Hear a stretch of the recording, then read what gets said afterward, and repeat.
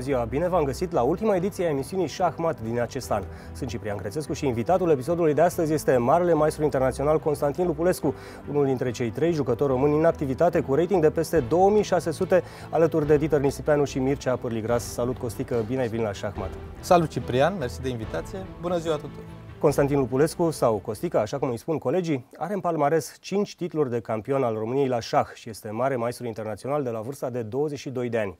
A început șahul la 7 ani, iar la 18 ani a devenit campion european de juniori la șah pe echipe. Interesant este că anul acesta România a cucerit din nou titlul european de juniori la șah pe echipe, iar doi dintre jucătorii medaliați cu aur sunt antrenați chiar de Constantin Lupulescu.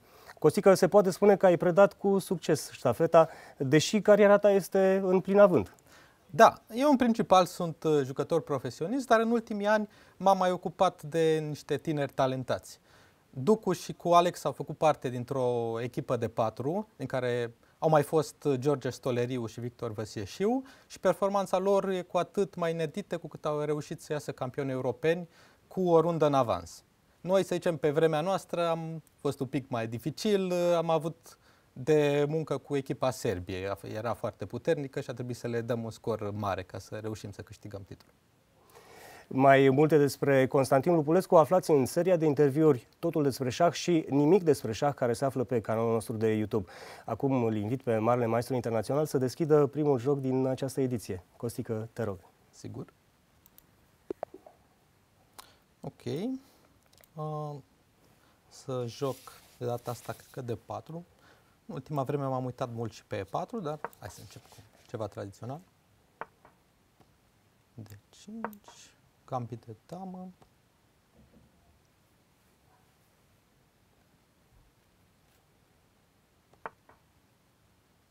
Avem o slavă.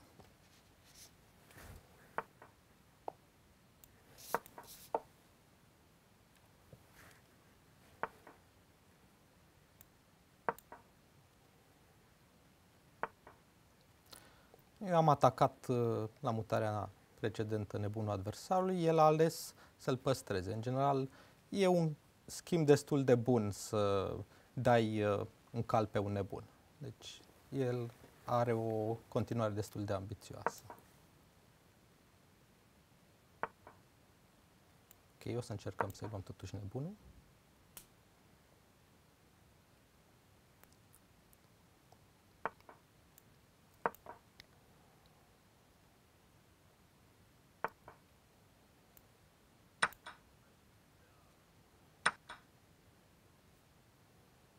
Ok. Cum cred că o să pun presiune pe flancul dame advers cu dama.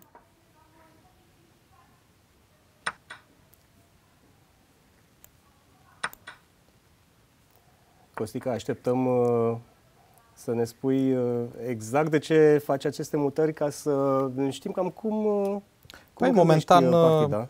cum am spus anterior, el mi-a atacat nebunul de alb și probabil că acum nu o să las să schimbe pe cal. Okay, el trebuie să-și dezvolte ori flancul regelor, ori flancul damei, probabil pregătește rocada mică, ceea ce okay, o să ducă la un atac furibund al albului, probabil.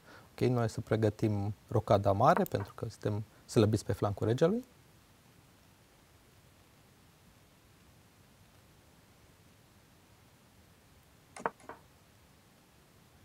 Cum am zis. Așa cum ai anticipat, a făcut rocada mare. Și noi, cum am anticipat, o să facem rocada mare. A făcut rocada mică, exact. Noi facem rocada mare, corect. Ok, și acum să pregătim atacul furibund. Primul rând, cu nebun acesta o să controlăm câmpurile din centru. Nu e așa bine să te lansezi într-un uh, atac de flanc dacă n-ai control în centru. Okay. O să ocupăm centru.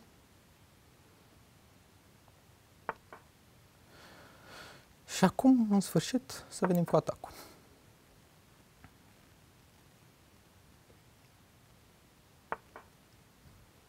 Ok, el vrea să-mi ia acest pion din G5. Nu o să las.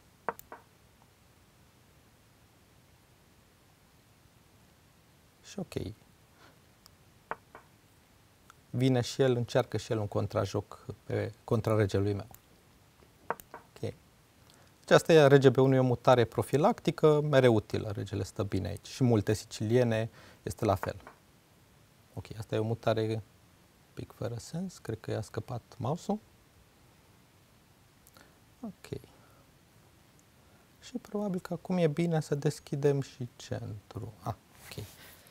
Dar nu merge din motive tactice. Aș fi vrut să joc de 5, dar îmi pierd o piesă. Deci nu e bine. Hm. Ok. Să joc damă C2 atunci. Și ulterior vreau să sparg în centru cu D5. Ok. El nu m-a crezut.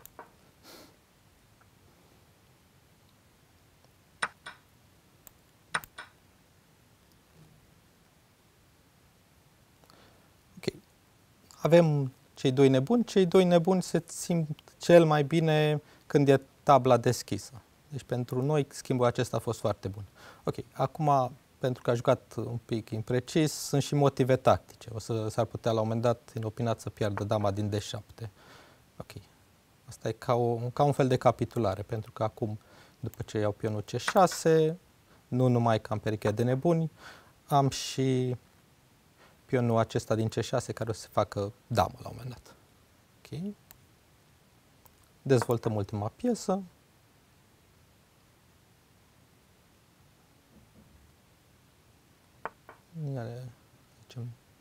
Și ok, aici am foarte multe opțiuni. Probabil care sens să schimb singura lui piesă activă nebunul din C5.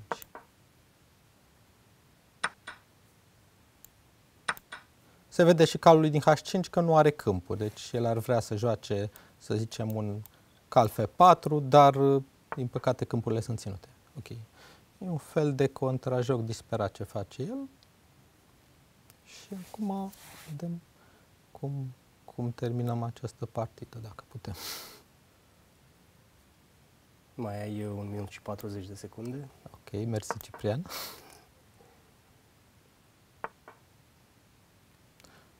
Atunci o să invadăm și cuturile pe a șaptea. Asta este mereu ceva util.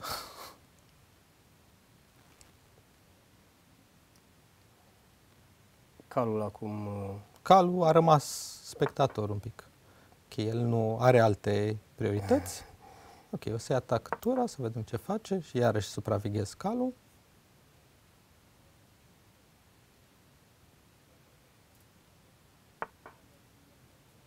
Și nu a observat că pierde tura în timpul atacului lui. Da, este... Și acum poate ceda liniștit. Da. O victorie rapidă. Mersi. O, uh... o, o mutare ciudată cu turn A8. A fost uh, foarte ciudat, dar el da. atunci trebuia cumva să pregătească ori un, un atac de flanc, ori ceva mai bine în centru, un contrajoc în centru. Îți propun să trecem la următoarea partidă. Ok, dau rematch, îl las uh, revanșa? Hai să-i acordăm revanșa, s-ar putea să... Dacă mai este. Mai este? Dacă este, nu. Ok, atunci încercăm play, dau din nou? Da. Ok, acum suntem cu negru. Adversarul pare un pic mirat, ok, 4. Um, o să joc, am mai multe opțiuni, franceză, carocan, o să joc uh, ceva mai agresiv, o siciliană. Așteptam și un uh, Benoni. Benoni, dar trebuia să da, joace de 4. Să, să joace de 4, exact. Ok, această mutare probabil uh, seamănă cu E4, E5 nebun C4, damă H5, ar vrea un, un mat repede pe F7. Ok, de data asta pionul pe E7 și atunci să ne apărăm mult în avans. Ok, și atunci, ok, pentru că și-a pus nebun un pic ciudat, cred că o să el atac acum. Și îmi dezvolt în același timp și piesele. Ok? Și practic am obținut centru și nebunul acesta din B3 depinde, ori bun, ori, ori, adică poate să fie o piesă decentă, dar eu cred că mai degrabă o să fie o piesă inutilă, că o să pot să-mi apăr bine pionul de 5 și o să fie spectator. Ok, o să jucăm o mutare profilactică. Scot nebun E7 întâi, înainte de cal F6, ca să nu-l las pe el să-mi lege cu nebun G5. Ok, acum pot să joc cal F6. A făcut rocada. E, coloana este deschisă, deci e bine să facem și noi rocada, să nu pățim un accident.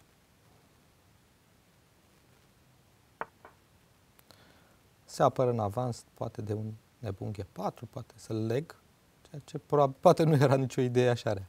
Ok, atunci și noi o să răspundem cu aceeași monedă, pentru că mereu un nebunghe 5 poate fi, poate fi o idee interesantă pentru el și tocmai ca să slăbească pionul din D5. Atunci să jucăm H6. Da, el ar vrea să mă convingă, dar eu nu o să, nu o să joc de 4 să-i deschid jocul.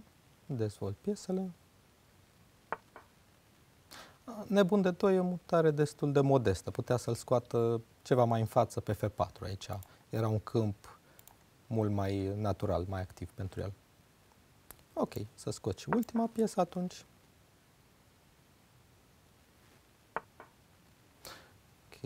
Evident vrea să joace un F4, dar uh, pierde foarte mult timp. Adică, în general, uh, atacurile astea merg foarte bine, de exemplu, dacă putea să joace în loc de cal H2, cal un G5.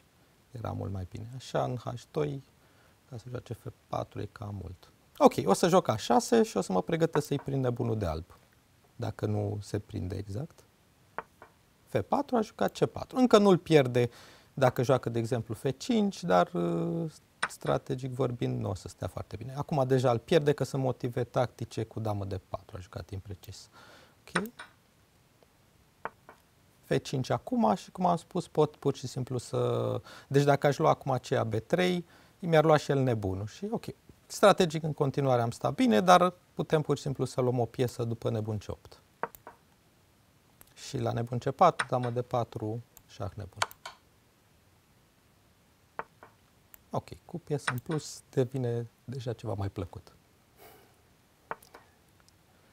Ok, a scos în sfârșit nebunul F4, dar e un pic tardiv. Ok, acum o să luăm, o să dezvoltăm nebunul de alb și cu tempo, practic luăm și un pion. Aha. Încearcă o măsură disperată. O măsură disperată. Ok. Acum dacă iau nebunul acesta, eu să ia și el nebunul și practic un pic m-am mai deschis la rege. Și parcă cu piesă în plus n-are rost să joci un pic aventuros. Ok, o, poate o mutare cu tempo nu strică niciodată. Turnul din A la D8, la atac dama și văd ce face și el. Practic o mutare și cu tempo și de dezvoltare.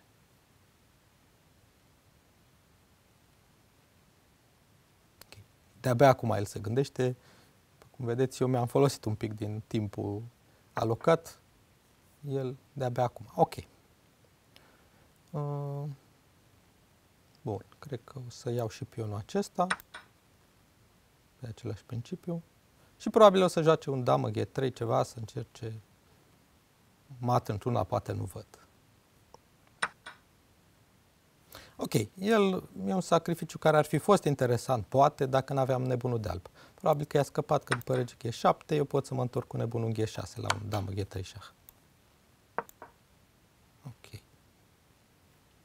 Foarte, foarte interesant cum uh, ai anticipat toate mutările adversarului, inclusiv greșelile.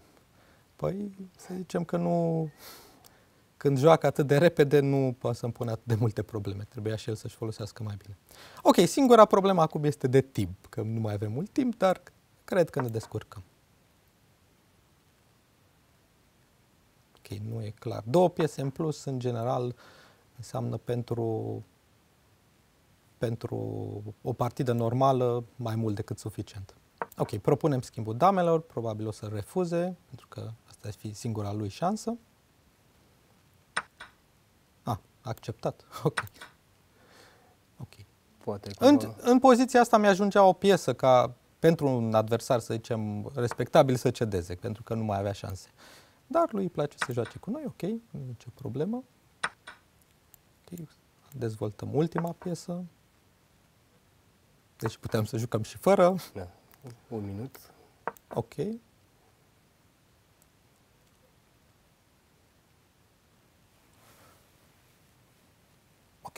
acum, într-adevăr, e timpul să se gândească. Aha, o mutare profilactică. Ok, propunem un schimb de cai. Bineînțeles, aici orice câștigă, doar să nu pierdem la tip. Ok, atacă pionul, putem să îl și dăm, dar bineînțeles, de ce să îl dăm? La un moment dat, cred că aș putea să-i prind și una dintre ture, pentru că am doi nebuni foarte puternici și turele lui sunt un pic limitate. Dar poate să încercăm să-l dăm și mat, cu turn de 1 și alte chestii pe acolo. În mod sigur, acum sper uh, la o victorie la timp, pentru că mai e 40 de secunde. Ok, și acum el o să, acum putem să facem un turn de 1, profităm că el e slab pe ultima linie. Dacă ia turnul, o să fie direct mat, deci probabil o să-și apere într-un fel. Da. Ok, a mai dat, a mai făcut un schimb interesant, cum avem turn și nebun în plus. Ok. În sfârșit încercăm să-l dăm mat. Dar el nu se apără cu tura lui. Ok.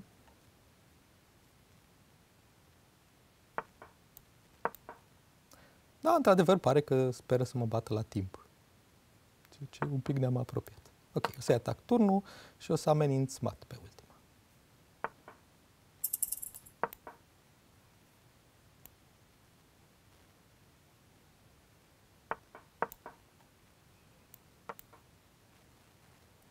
Da, un mat pe care nu mai poate evita decât dacă își dă tura. Ok, poate să mai joace un uh, G4, să zicem. Probabil. Încercăm, o să punem o, nu mai avem mult timp, o să punem cu primove.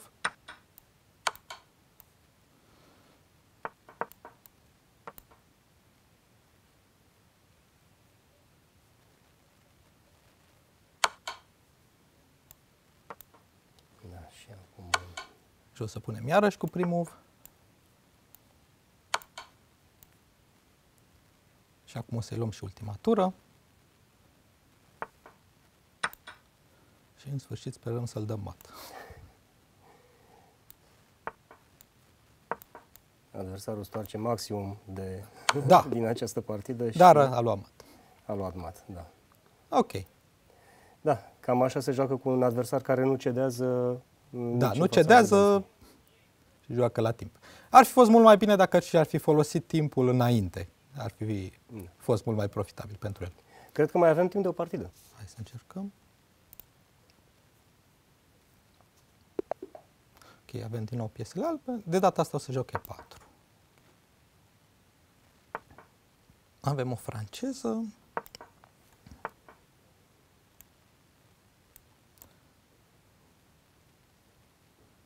Cu multe opțiuni. Pot să joc cal de 2, cal C3. Cal C3 e, să zicem, cea mai agresivă mutare. Cal F6, face, face un atac în centru, dar după E5 va trebui să se retragă pe D7 și calul lui este un pic pasiv. Un pic îl uh, greunează dezvoltarea și celorlalte piese, că se vede, de exemplu, nebunul din C8 și calul din P8 sunt, uh, poate ar fi vrut și ele să meargă pe câmpurile acelea. Ok, câmp, calul din P8 mare, câmpuri, nebunul din C8 nu. Ok, atac în centru. În mod ideal ar fi fost bine să pot să joc C3 să-mi apăr centru, dar ok, o să scot uh, cal F3, nu mai avem acea opțiune. În continuare suntem foarte solizi în centru și avem avantaj de spațiu, ceea ce ne ajută să avem un joc mult mai ușor. Ok, iarăși continua atacul în centru. Mai aducem o piesă care să apere importantul punct de 4. Și acum, iarăși, are... Încă e teorie, încă sunt multe mutări. Am jucat și cu albul și cu negru. Ok, nu e clar exact ce mai îmi amintesc. Ok, o să scot dama. Cred că era o idee bună. și acum, în continuare, are opțiuni. Putea să facă rocada. Ar putea poate să scoată dama în B6. Ok, roc, rocada e cea mai naturală a lui. Sau o mutare interesantă cum e A6, care nu clarifică încă intențiile negrului. Pentru că după ce se face rocada mică, s-ar putea să aibă ceva probleme cu regele acolo. Pionul meu din E5 e foarte important ca să-mi asigure șanse de atac pe flancul lui. Ok. Cum spuneam, încă teorie, dar pare un pic dezorientat. față de adversarul precedent, pare să gândească mai mult, să vedem dacă o să-i ajute mai mult. Deocamdată nu a făcut mutări greșite, așa că... Nu, nu a făcut nimic greșit. Ok, exact. franceza, multă lume ar spune că e un pic inferioară, dar țin cont că am jucat-o și eu cu negru și mi-a adus și unele victorii importante, nu pot să spun nimic. Rocada. Ideea e că acum rocada mare pentru alb, care ar fi de dorit strategic, ar fi o greșeală pentru că o să joace C4, pionul ăsta aici, și după aceea vine și el ușor pe flancul uh, damei. Așa, întâi clarificăm situația în centru. Iarăși are mai multe opțiuni, poate să ia și cu nebunul și cu calul. Oricare cu plusuri și minusuri. Ok. Și acum e timpul să facem rocada mare. Și la un moment dat o să pregătim uh, un, poate un atac pe flancul regelui, poate cu un nebun C5, nebun de 3 e în general uh, o cale destul de, de suscitată de, în, pozi, în poziția asta. Dar depinde foarte mult ce joacă el. De exemplu, A6, B5 e ceva normal, dar are și alte opțiuni. De exemplu, dama 5 sau altele. Din nou uh, se gândește. Din nou se gândește. Ok, asta e o continuare interesantă. Nu atât de rea. Practic eu voiam să joc nebun C5 și nebun de 3 și cumva să-l dau mai pe acolo. Nu mai este de dorit să iau cu nebunul C5 pentru că dacă ia cu B1 C5, centrul acela o să fie foarte puternic și o să-mi creeze probleme. Ok, atunci o să fac și o mutare perfect naturală, aduc calul în centru și schimb calul din C6, care e și o piesă destul de activă. Și vreau să-mi cimentez nebunul de 4, care este o piesă foarte periculoasă în atac. Uh, problema cu A7B6 ăsta lui, ok, acum așa a pierdut o piesă, cred. Uh, în timpul strategiei se mai întâmplă așa, dacă ești, nu ești atent, îți pierzi o piesă. Uh, problema cu A7B6 e că totuși e un pic lent. Ok, el ar vrea, nebun așa se vrea să schimbe nebunul meu de alb, pe care de dorit strategic, doar că un pic nebun C5 și a scăpat probabil că la nebunia F1, nebunia E7, exact și atac uh, dama lui, o mutare intermediară, nu foarte grea, spune, pe care practic a pierdut o piesă. Da, la singura mutare pe care a făcut-o instantaneu. da, așa se întâmplă. Așa se întâmplă de multe ori. Deci faci da. Uh, joci, gândești mult, poate când nici n-ar trebui și după aceea când în sfârșit faci o mutare care zici tu ce poate să conteze. Da, cumva a gândit uh, mult în deschidere, partea de deschidere care uh, da, că nu care știa, ar fi trebuit totuși Nu știa, dar nu știa da, exact nu știu, acea, da. această variantă. Foarte, foarte interesante partidele. Jocul pare simplu atunci când este explicat de un mare maestru, dar sugerez telespectatorilor să facă un mic experiment. Să revedeți partidele cu sonorul închis. Toate episoadele sunt postate pe YouTube. Încercați la fiecare mutare adversarului să găsiți cel mai bun răspuns. Vedeți apoi ce a mutat invitatul emisiunii și mai ales de ce. Vă spun că va fi o experiență foarte utilă. Cosică, mulțumesc pentru partidele școală, pentru interviu mulțumesc și, și mult succes uh, uh, noul an. Mulțumesc la fel. Mulțumesc și un nou, un nou an cât mai bun și telespectatorilor noștri. Doamnelor și domnilor, aceasta a fost ultima ediție Șahmat din acest an. Ne revedem în 2019. Sunt Ciprian Crețescu și vă urez un an nou așa cum vi-l doriți.